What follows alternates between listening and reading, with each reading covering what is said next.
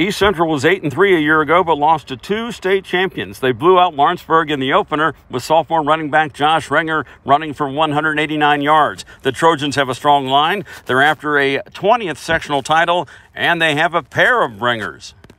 We are a little bit younger than what we typically are, uh, having a sophomore uh, running back, but but we think he's pretty special, uh, and I think he had a great game on uh, Friday night, and so we're, we're hoping to continue to build from there. Yeah, it's always a ton of fun. I think we have a lot of competitions. Who gets the better stats? You know, who always who, who's the better who's the, who's the better brother? Yeah, uh, he's pretty good. I mean, he he kind of saves us when we don't do our job, but I mean, we open up the whole term. We got a good offensive line, so I think we'll be pretty good this year.